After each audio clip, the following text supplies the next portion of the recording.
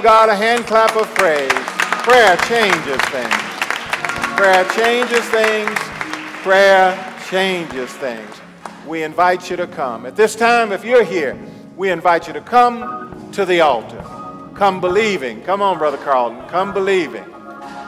Come ready to receive that which God has in store for you at this time. Won't you come? Won't you come? Won't you come? Pray.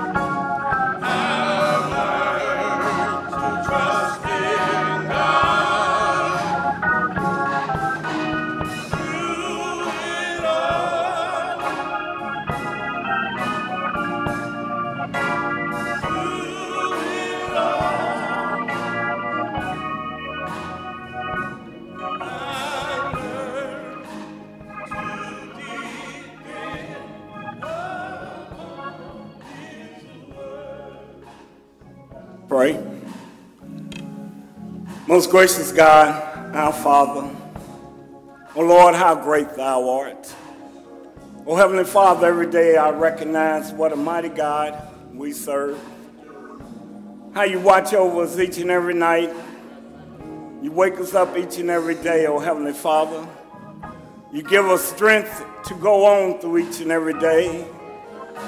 Heavenly Father, we breathe and think not. We see and recognize. Heavenly Father, the heart pumps and we do not tell it to, but still it does what it's supposed to do. The brain thinks, the brain reacts, and keeps us able to process throughout each and every day. How mighty how wonderful is the work that thou have created. Heavenly Father, we cannot even fathom the depths of even the human body, O oh Lord. Your hand is so masterful, so wonderful to have created such a one as us. Heavenly Father, all we can say is thank you. Heavenly Father, thank you that when we got up this morning, oh Lord, we had food on our tables. Heavenly Father, we thank you when uh, we got up this morning, we had uh, strength to get out of bed. We thank you, oh Lord, when we got up this morning, we was able to get dressed and able to come through these doors of Zion Baptist Church once more. Heavenly Father, it was not our power, it was your power, oh Heavenly Father, that made it possible for us to make it here safely. For you watched out for us, O Lord, on our way. And you kept our journey safe, O Heavenly Father, and kept us from all hurt, harm, and danger. And we just say thank you. Thank you, O Heavenly Father, for Zion Baptist Church. We thank you for this congregation, O Lord. We thank you for our pastor who is still on the post, who is still preaching the uncompromising gospel and still holding up the blood-stained banner. Heavenly Father, continue to bless him, oh Lord, in a mighty way as he continues to lead your people. Heavenly Father, and each and every member of this congregation, look upon us, Lord, because we all stand in the need of prayer. Heavenly Father, some things are spoken and some things are unspoken, but we all need you right now in the name of Jesus. Heavenly Father, we go through, we know not each and every day, but you know what's coming, oh Heavenly Father, and you can prepare us. So continue to order our steps, oh Heavenly Father, that we will walk the walk we need to walk.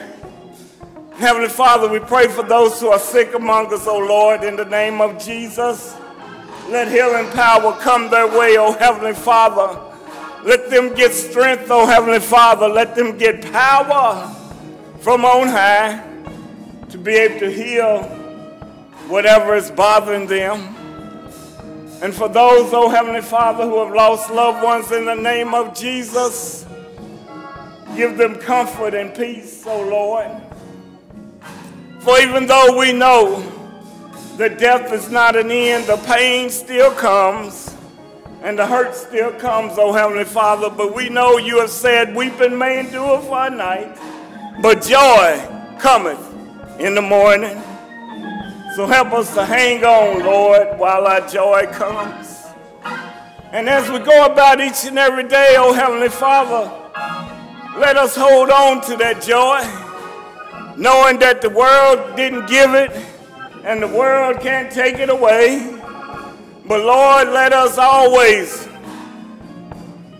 have hope and have joy in you, for you are the one, the author and finisher of our faith. Heavenly Father, we pray for those who've lost loved ones in the school shooting, oh Heavenly Father, in Florida. Heavenly Father, we know uh,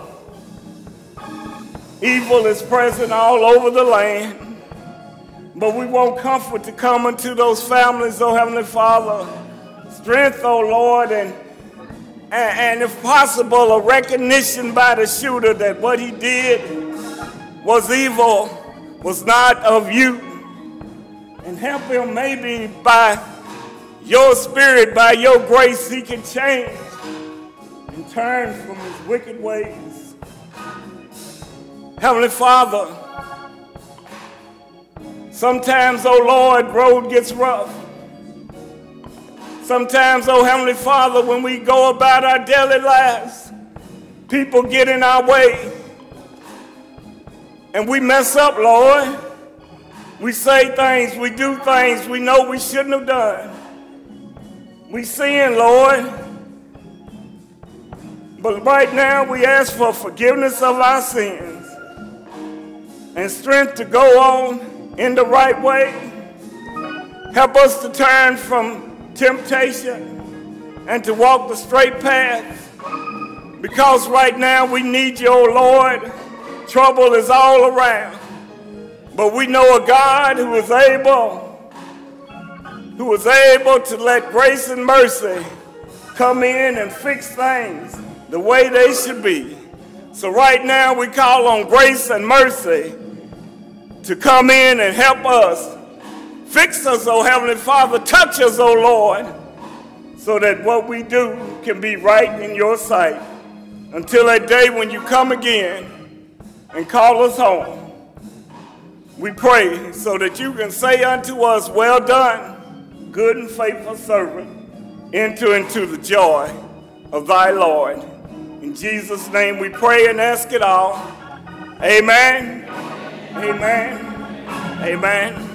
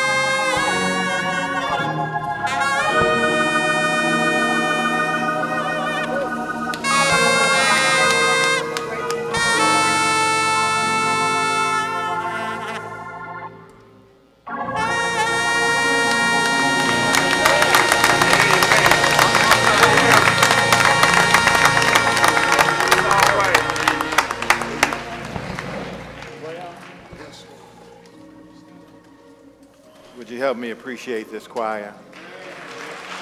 Come on, we can do better than that. We can do better than that.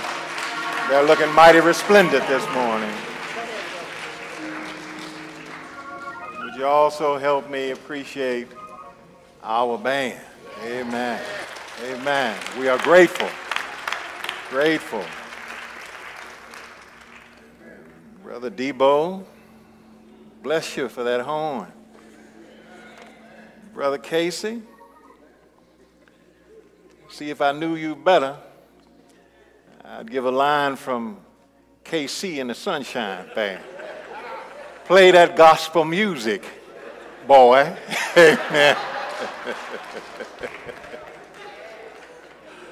well, thank you so much for blessing us.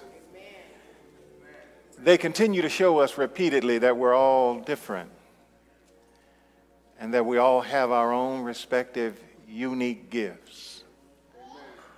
From the sopranos to the altos to the tenors. Do we have a bass in the group? Bro War by himself, holding up the bloodstained banner. Brother Williams, no, Larry's in between. He's not sure. Amen. But they continue to show us, my brothers and sisters, the diversity of gifts. Amen. Who could blow the horn like Rick Debo? Who can play the guitar? The lead guitar like Brother Casey. Amen.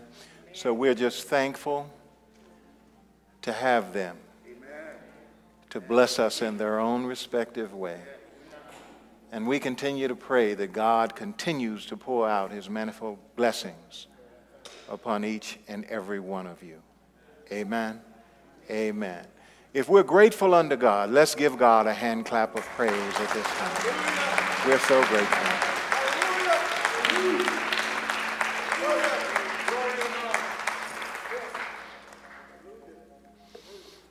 Well, saints of God, it is preaching time. But before I preach, I would request of you that you have a moment of silence with me for the families who have suffered terrible losses as a result of the massacre of their loved ones from the mass shooting experienced in a high school in Florida. Oh, my brothers and sisters, how much more do we need to suffer? How many more families need to experience a tragedy before our cowardly congressmen and congresswomen will vote for more stringent gun control of semi automatic assault weapons? How much longer will they, our congressional representatives be pimped by the NRA and the millions of dollars that the gun lobbyists put into their political coffers. How much longer will they, our congressional representatives, be allowed to vote against the wishes of their constituency? How much longer before we kick all of them out of office? You do know that statistically, most civil minded Americans want more stringent federal background checks and psychological evaluations for potential gun purchasers and that the United States leads in mass shootings and mass slaughters over and above any other industrialized country in the world today. You do know that.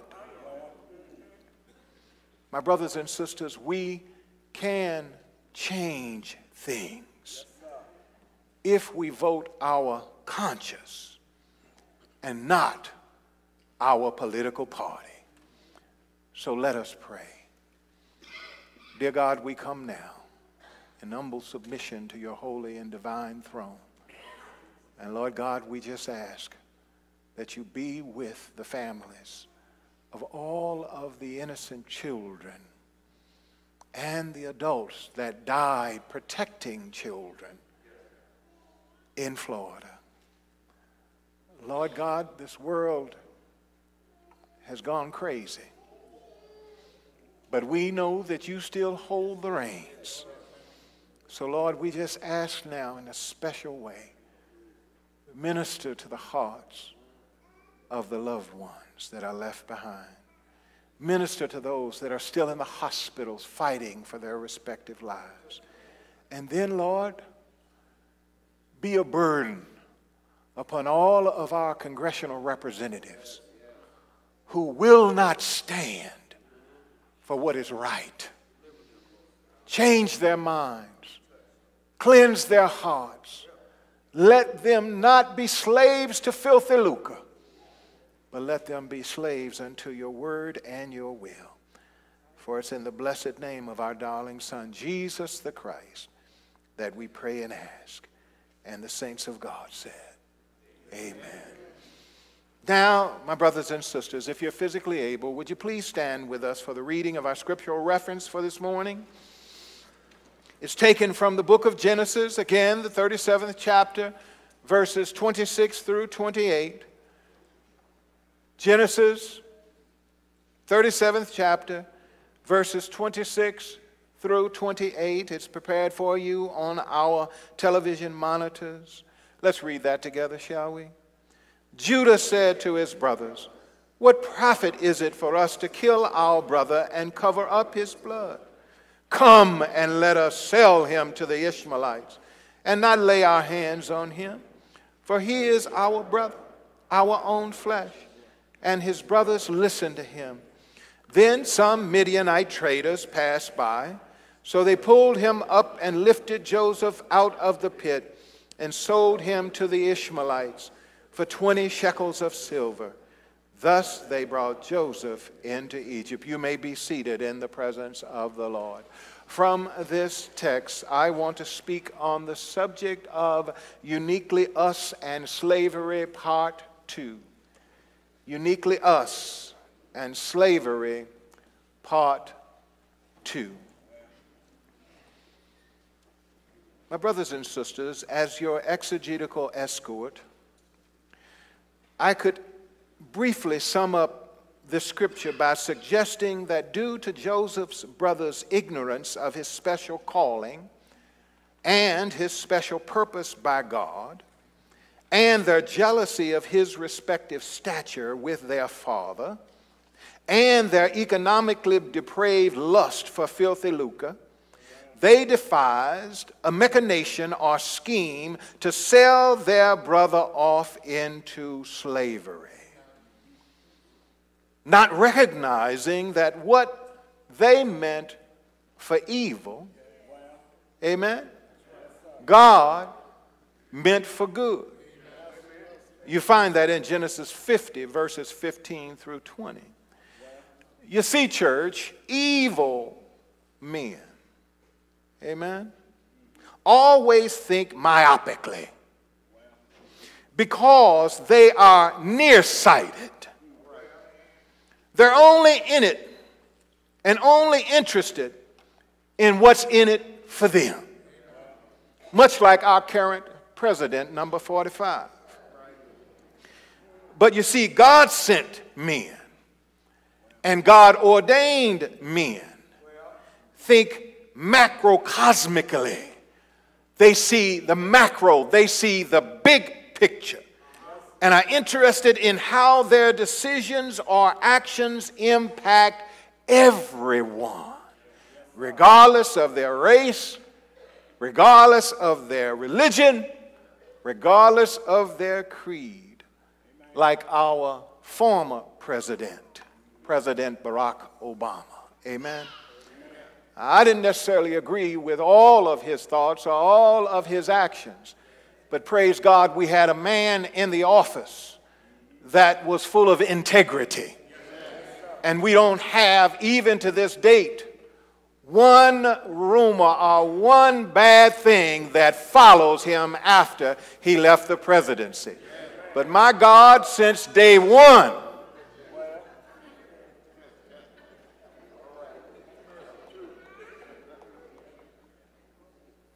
Has there been a day without some type of controversy? Let me go on and preach this text. Saints, for the past two weeks, I've shared with you that my underlying premise, my central theme, my main point was this.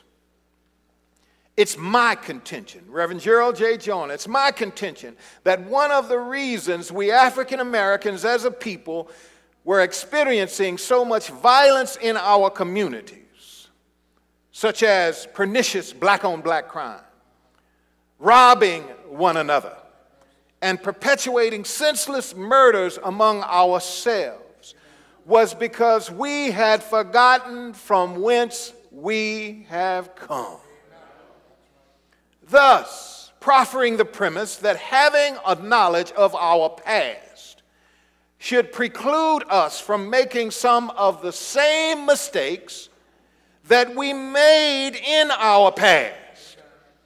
And hopefully, that same knowledge, that knowledge of our past, would illuminate or enlighten our minds so that we choose a different and a more productive path for us to take in the future.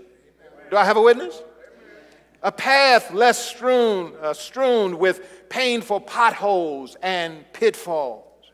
I also profit the hypothesis that economics played a pivotal role in our experiencing some of our past and present maladies. My brothers and sisters, it's insane for us to continue to make the same mistakes over and over and over and over again. If God has illuminated our minds, if God has laid out for us that this behavior, this course of action, this path will only end up in your ruin, then logic would tell us to choose another way. Amen. Well, my brothers and sisters, I shared with us that while I don't believe that God caused us to experience these travesties, I do believe that He allowed us to experience those trials and tribulations because He knew of our ability to persevere. He knew of our ability to remain faithful during difficult and trying times. He designed us to withstand persecution and gave us an uncanny hope for the future. God placed us or in us a healthy discontent for the status quo and knew that we as a people would strive against injustice. For we as a people believe that injustice tolerated anywhere is an affront to justice everywhere. That was my belief. That's what I shared with you. And I agree and understand that others might disagree with me, and that's okay. We can agree to disagree. We just can't be disagreeable. Amen? But this is what I believe, saints, and this is what I stand on. Well, this week I want to continue on in that vein and further my expostulation as to why God allowed us, we African Americans, we unique people, to experience the ravages of slavery at the hands of evil and supposedly Christian men. Today I want to deal a little bit more with the historicity of slavery and the psychology of slavery. Amen? As I deal with the historicity of slavery, I would have you know that in the late 18th century, with the land used to grow tobacco nearly exhausted, the South faced an economic crisis. And the continued growth of slavery in America seemed in doubt. Around the same time, though, the mechanization of textile industry in England led to a huge demand for American cotton, a southern crop whose production was unfortunately limited by the difficulty of removing the seeds from the raw cotton fibers by hand. Anybody in here ever pick cotton? It is a toilless, burdensome, back-breaking, finger-ripping job. Amen. Billy's not here, but I know Billy's family picked cotton, and Billy could share with me how painful of a process that was. Amen. You see, my brothers and sisters, the slave industry almost toppled.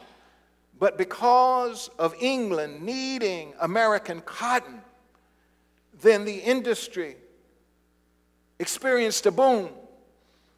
In 1793, a young Yankee school teacher named Eli Whitney invited the cotton gin, and within a few years, the South would transition from the large scale production of tobacco to that of cotton, a switch that reinforced the region's dependence on slave, slave labor. Though the U.S. Congress outlawed the African slave trade in 1808, I'm going somewhere, I'm teaching this morning, the domestic trade flourished and the slave population in the United States nearly tripled over the next 50 years. By 1860, it had reached nearly 4 million African American slaves, with more than half living in the cotton producing states of the South. Slaves in the antebellum South constituted about one third of the Southern population. What are you saying, preacher? I'm saying one out of every three people that lived in the South was black. But yet, they were enslaved. Most slaved lived on large uh, plantations or small farms. Many masters owned fewer than 50 slaves. Slave owners sought to make their slaves completely dependent on them, so they developed a system of restrictive codes to govern the lives of their slaves. What kind of codes? Codes like this, my brothers and sisters. Slaves were prohibited from learning to read and to write because the white man knew that education would be the key for them to overcome their slavery. So they did not want them to read nor write. Number two, slave behavior and movement was restricted. So therefore, they put overseers over them to watch everywhere they went and everything they did. Number three, slaves were never allowed to have arms and ammunition. Number four, a child's status depended on the mother's status. So if the mother was a slave, then therefore the child was a slave. Baptism did not alter the condition of the slave regarding his or her bondage or his or her freedom. So I don't care if the Quakers came through and baptized the slaves and then identified them as Christians. Slave code said that if you were born a non Christian, you were born a slave and you would continue to be a slave. All slaves who were not Christian at the time of their purchase would not be considered as Christians simply because they were purchased by some Christian. Number seven, all servants imported and brought into this country who are not considered as Christians in their native country would not be considered as Christians here and would be considered as slaves in this country. Many masters took sexual liberties with slave women and rewarded obedient slave behavior with favors, while rebellious slaves were brutally punished. What are you saying, preacher? I'm saying, brothers, you could be laying in bed with your wives and your children around you, and a slave master could come into your house at night put you out of bed, lay in bed with your wife, have sex with your wife, and impregnate her in front of you and your children, and it was nothing you could do about it.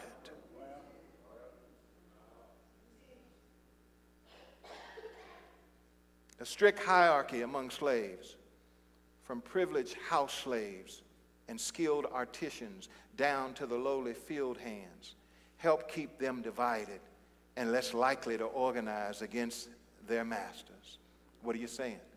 I'm saying that even then, my brothers and sisters, the slave owners knew that the da- knew the danger of the motto, united we stand and divided we fall. So they did everything to keep us divided. Amen. Mulattoes against dark skinned black people. Mandingos against Yorubas. They kept us separated so that we would not be able to communicate in the same language, so that we wouldn't be able to strategize, so that we wouldn't be able to plan to overcome. United we stood, but divided we fell. Slave marriages had no legal basis, but slaves did marry and raise large families. Most slave owners encouraged this practice because it produced more field hands. But nonetheless, it didn't hesitate. They didn't hesitate from dividing these uh, families and selling the children off into slavery. So one could question how could a people who came from proud kingdoms and African nations allow themselves to suffer such injustices? Why didn't they just join together and rebel or cause insurrections, insurrections against their slave masters? I'm glad you asked me.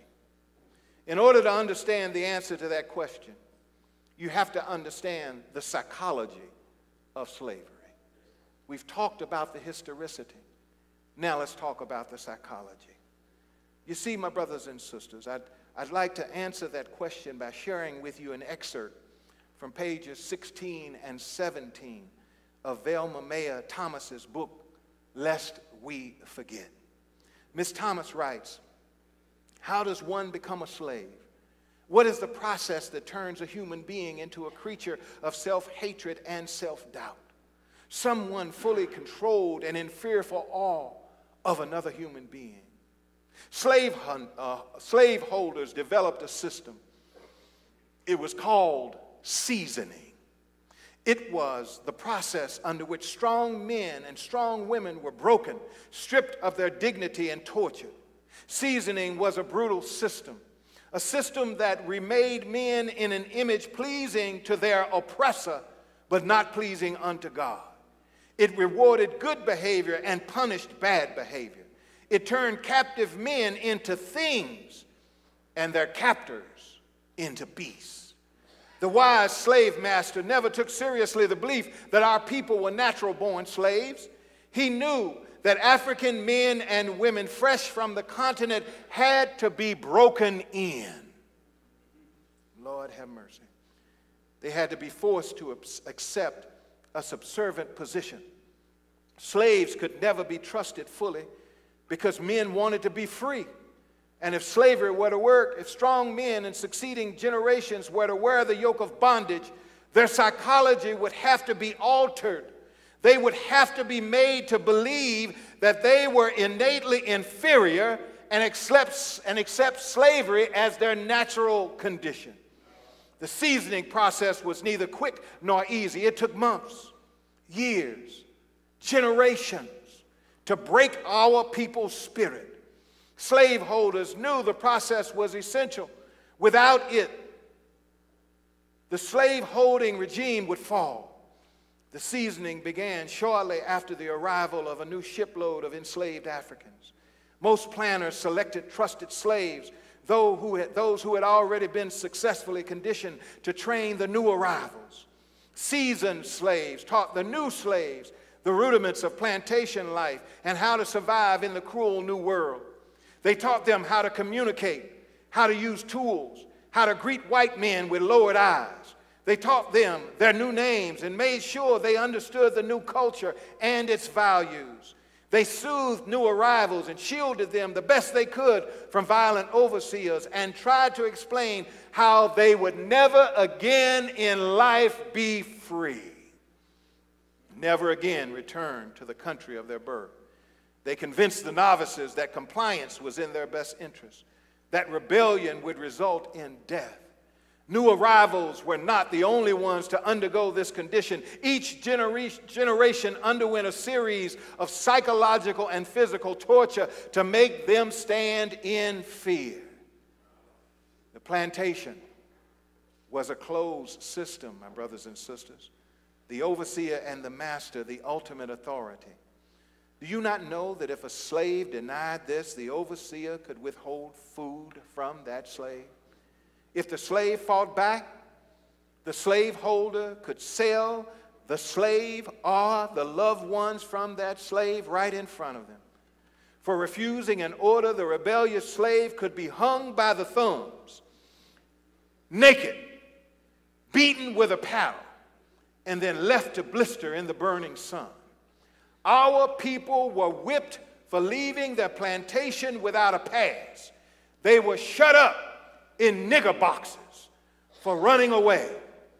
They were hung for lying or stealing. They were castrated if accused for violating a white woman. They were mutilated and chained if they killed a white man, even if it was in self defense. Slaves were branded, they were burned, they were choked, they were bound, they were covered with molasses to attract biting insects, and then they were decapitated. Their heads were stuck on posts along well traveled routes. Such acts were done to reinforce the slaveholders' claim of being all powerful, to convince our people to submit, and to force them to accept his code of ethics and conduct. It is difficult to express in words the horrors that our foreparents endured during this seasoning process. Some of our Western European brothers and sisters argue the tales of brutality are exaggerated. They argue that most slaveholders treated their slaves kindly, reverting to the whip and brute force only when necessary. But slave narratives, slave letters tell a different story. Even if the individuals were spared the whip, they heard about or saw others who received it unmercifully, or they themselves were punished in other ways. No man, stated former slave Austin Stewart, could possibly escape being punished, care not how attentive he might have been or how industrious he was, he would end up punished. Such was the law of the plantation. Such was the making of a slave. So now that you know a little bit more about your history, now that you know how the oppressive slave owners used psychological mind control and terrorist bar barbarism to conduct and subdue our former parents, what are you going to do about it? Why am I making this plain to us today? Why am I sharing the history of our people with us today? I told you earlier that if you don't know from whence you've come, then you don't know where you're going. Our slaveholders of yesterday have changed their methodology. Today, versus having plantations that they take us to, the plantations are right inside our own communities. The slave owners, versus being of a different hue, are our own brothers and sisters who are heading up the gangs, heading up the drug trade. Black people don't make the drugs. Black people don't bring the drugs into the country. Black people don't make weapons. Black people don't bring weapons in the country. But what the slave masters do is they tell some of our overseers, they tell some of our own house niggas that they can represent the powers that be and that if you enslave your brothers and sisters by pouring dope into their arms, if you enslave your brothers and sisters by making them become members of a gang, what we'll do is slide you a little money. We'll pay you the money so that you can live where you want to live. You can dress like you want to dress. You can drive what you want to drive. But keep all the little pickaninnies under your control so that we're not viewed as the slave owners anymore. You represent us. And we as a people, because we did not know our history, have fallen prey to the same slave mentality that we had back in the 1860s. Where are our youth? Because we won't stand up like our foreparents. Our youths are falling prey to gang leaders who tell them your mama don't care about you. Your father doesn't care about you. So come on into our gang. Wear our colors. We'll represent you. We'll protect you. We'll feed you when you're hungry. We'll put clothes on your back when you're naked. We'll give you water when you're thirsty. Churches are dying. Members are leaving because we won't stand up and take care of our communities. But gang members are saying, Come to us. All we say is give your allegiance to Jesus, give your life to Jesus, and He'll make it better. He'll fight your battles. But what do they say? Give your life to us and prove your worthiness to us. How do you prove your worthiness, to us? You got to go out and kill somebody. And once you kill somebody on our behalf, then we'll protect you. We'll feed you. We'll clothe you. You'll never be without family. And we as a church have failed because we have let the voice of the adversary ring louder than the voice of the church. I know what you're thinking. Maybe you are sitting here today and you're saying, Reverend, I, I wouldn't have tolerated slavery. I wouldn't do it today, and I wouldn't have done it back then. Wouldn't nobody beat me. Wouldn't nobody throw me in a nigger box. Wouldn't nobody castrate me? Wouldn't nobody lay next to my woman with me watching and have sex with my woman? I wouldn't have tolerated it. I would have led in a revolt. I would have killed every person that I could get my hands on. Well, you would have thought that. You would have revolted. Yeah. Guess what? There were many others who felt the same way you do. They felt it back then. They rebelled. They revolted. And they died. Brutal deaths. The New York Revolt in 17 and 12. Nine whites were shot, stabbed, or beaten to death, and six were injured. As a result of this failed revolt, 70 blacks were put in jail. Six committed suicide. 27 were put on trial, of which 21 were burned to death publicly. Not enough? The Stono Rebellion in 1739. Jimmy, an Angolan slave, and 20 African slaves seized weapons and ammunition at the Stono, uh, Stono River Bridge. They burned seven plantations and killed 20 whites. They recruited more slaves and grew their numbers up to 80. However, they were suppressed by a mob of plantation owners under the command of Governor William Bull. The captured slaves were decapitated and their heads were spiked along the road for all other slaves to see as they traversed the roads of the plantation. Not enough?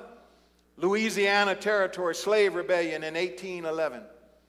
Charles Deslandes led 500 slaves down the Mississippi River Road and along the way killed two whites and burned plantations. A militia and U.S. troops confronted the rebellion.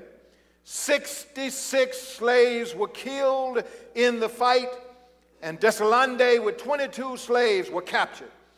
They were decapitated and their heads were stacked along the river. This rebellion is considered the largest slave rebellion in the United States of America. I'm telling you about your history. Not enough? Nat Turner, his rebellion in 1831. Turner and 70 enslaved and freed blacks went from house to house, freeing slaves and killing whites. They used knives and hatchets and axes in order to keep their rebellion quiet. Turner and his rebellion were defeated by a militia. Overall, Turner's rebellion killed 55 white men, women, and children in a two day period. However, Turner's body was mutilated, severed, and sent to different parts of Southampton County, Virginia, to serve as a deterrent to other slaves who might have been considering rebellion. Not enough? Harper's Ferry, 1859. John Brown led a raid on a federal armor at Harper's Ferry. He wanted to arm slaves. However, the raid failed as Brown's men either fled or were killed by the local militia. Brown himself was captured and he was hung for treason. My brothers and sisters, violence doesn't do anything but beget violence. That's the reason Reverend Dr. Martin Luther King Jr. said in 1961 violence brings only temporary victories. Violence, by creating many more social problems than it solves, never brings permanent peace. I am convinced that if we succumb to the temptation of violence in our struggle for freedom, unborn generations will be the recipients of a long and desolate night of bitterness, and our chief legacy to them will be a never ending reign of chaos. And two years later, he said in 1963 if we are arrested every day, if we are exploited every day, if we are trampled over every day, don't ever let anyone pull you so low as to hate them. We must use the weapon of love. We must have compassion and understanding for those who hate us. We must realize so many people are taught to hate us that they are not totally responsible for their hate. But we stand in life at midnight we are always on the threshold of a new dawn. My brothers and sisters, our love for God and His righteousness helped us to overcome slavery in the past, and that same love will aid us in overcoming our current dilemma of self hate and deprivation. My brothers and sisters, as we look at our text today, as I come to a close, you see, because of their jealousy and their hatred, the brothers sold Joseph into slavery. And once he went into slavery, it wasn't an easy road.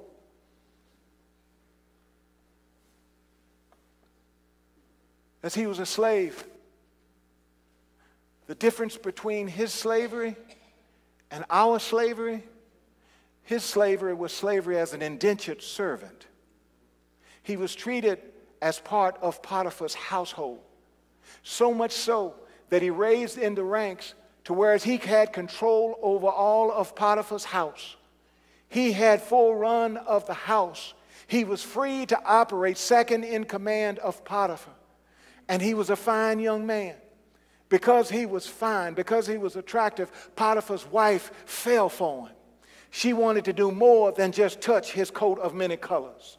So as she reached out to grab him and to demand that he had sexual relationships with her, because of his faithfulness and because of his love for his God, he ran and left his coat behind. And then she used his coat to lie on him.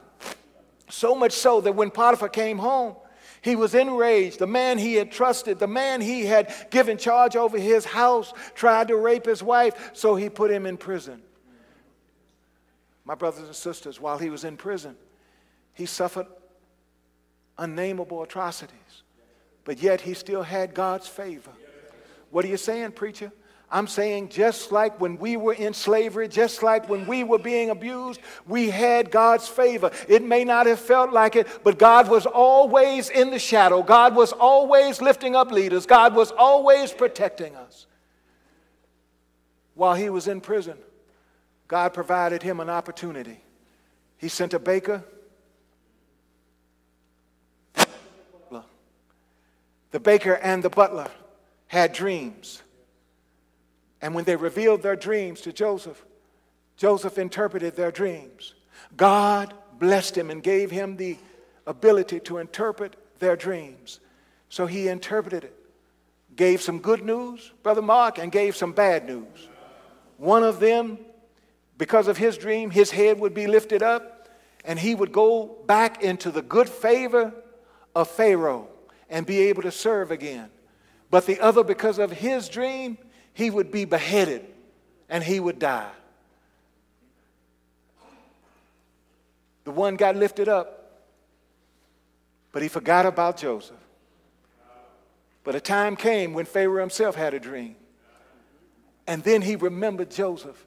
And when Joseph went to him and told Pharaoh what was going to happen, let me abbreviate this. Joseph told him what was going to happen. So again, he experienced God's favor. And Joseph was raised up out of the prison and was placed second in command under the Pharaoh. So much so that when the famine came, those same brothers who sold him into slavery were sent to Egypt to buy grain from Pharaoh. But versus having an audience with Pharaoh, they had to meet with Pharaoh's second in command. What are you saying, preacher? I'm saying, my brothers and sisters, if we remain faithful unto God, if we continue to lean on God's unchanging hand, if we continue to preach the word in season and out of season, if we continue to live righteous lives before our oppressors, before our enemies, God will lift us up. God will lift up the church of the true and living God, and we will reign supreme again.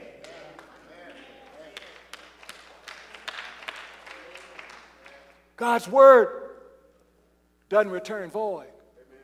The brothers had to come to him. And without recognizing, him, he took them through some trials.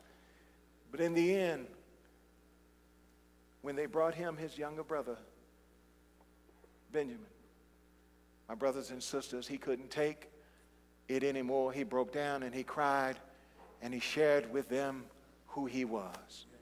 And by that, he was able to reunite his family and reunite himself with his father. And because of that, they became the nation of Israel. My brothers and sisters, we are uniquely us. And although we've experienced slavery, although we had to do battle with the historicity of slavery and the psychology of slavery, we are here today because our foreparents stood the test of time and they overcame. What's our charge? What will we do? Will we continue to sit idly by and allow the unchecked violence to continue on in our communities? Or will we get down on our knees? Will we start praying righteous prayers? Will we start living holy lives? Will we start talking to our young men and our young women again and telling them that you come from a proud heritage and you don't have to act the way you act? Will we start opening up our churches and versus just condemning them, start doing job training programs? Will we start uh, having feeding programs for individuals whose parents can't feed them in the morning? What will we do? It's my prayer that we will recognize from whence we've come and how God helped us to overcome. And the same God that did it for us then will do it for us again.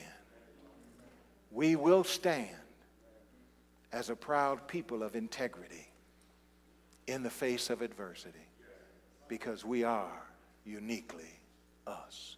The doors of this church are open, and we invite you to stand. We invite you to stand. If you're here today and you have not made the decision to make Jesus your Lord and your Savior, we invite you to come and invite you to let Him be Lord of your life. If you're here today, we invite you to come. As the choir leads us, the hymn of invitation, we invite you to come.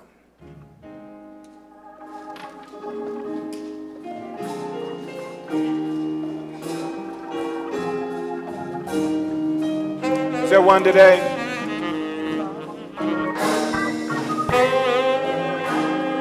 Is there one today?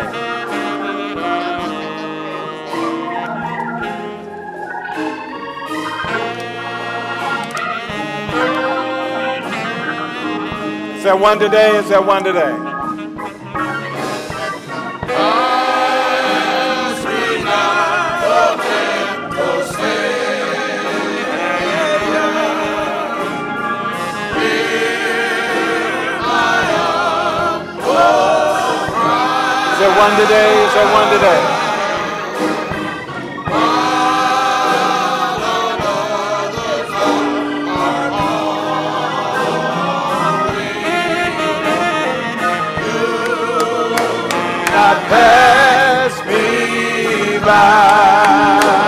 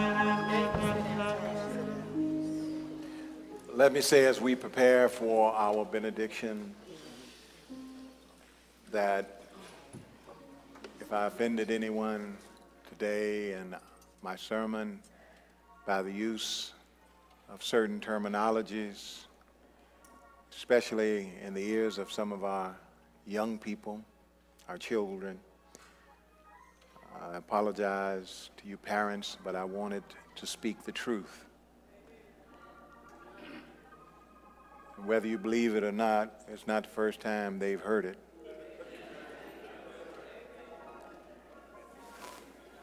If they watch any television program with rap singers on it, they've heard everything I said today and even more. But I needed to teach.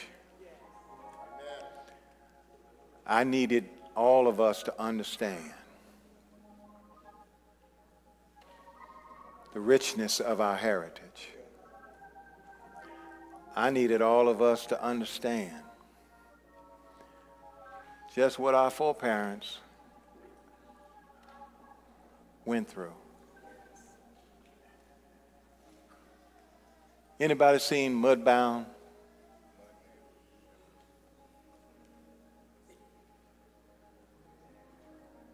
If you got Netflix, watch Mudbound.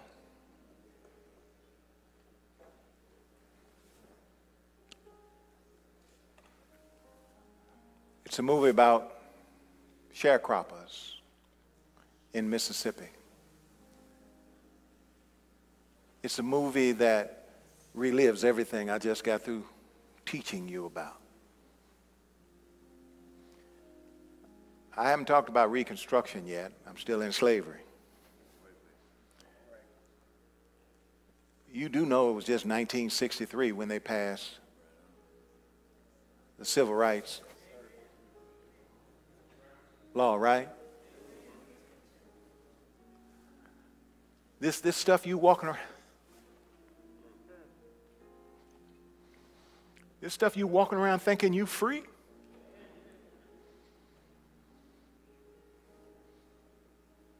Just because nobody has a whip that's cracking you across your back, you're not free.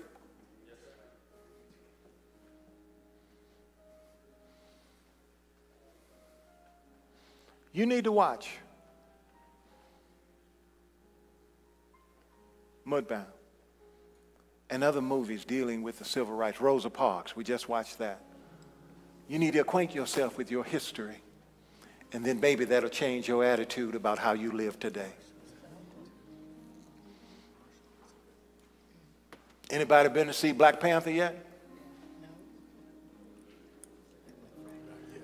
You need to go see Black Panther. It'll show you modern day how they twist our perception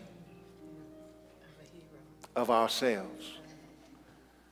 But within the same vein, it'll show you from whence we've come. Technology of Africa. Pride of Africa. I can't tell you the story because I'm going to let you go. But the closing scene to me was almost, it was the best. Because when an African nation stood up before, what's that organization they call all the nations come together? United Nations? United Nations? Huh?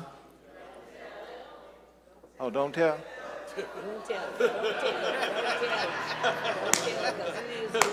Y'all know I'm like an old refrigerator.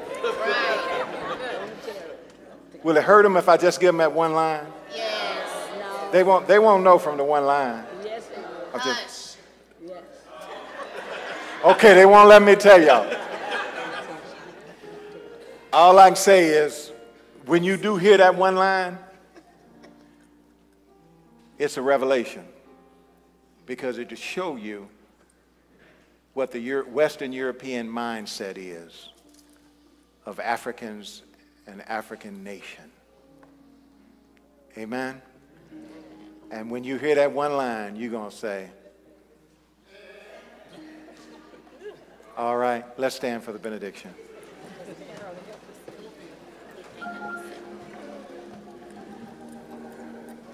Dear God, our Father, we come to you again this hour, and Lord, we just praise your holy name for all that our eyes have seen, all that our ears have heard, all that our hearts have experienced.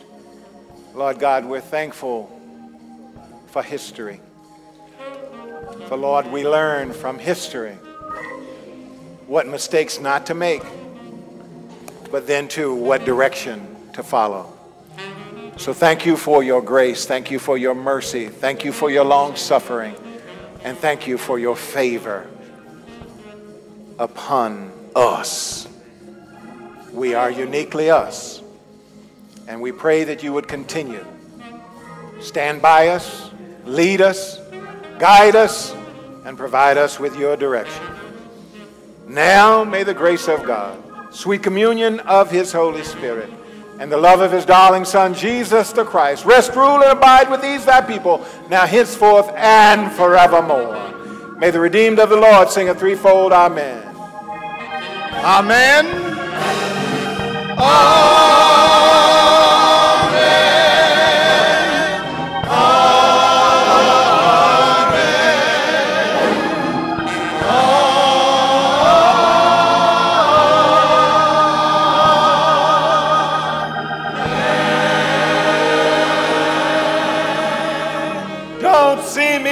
see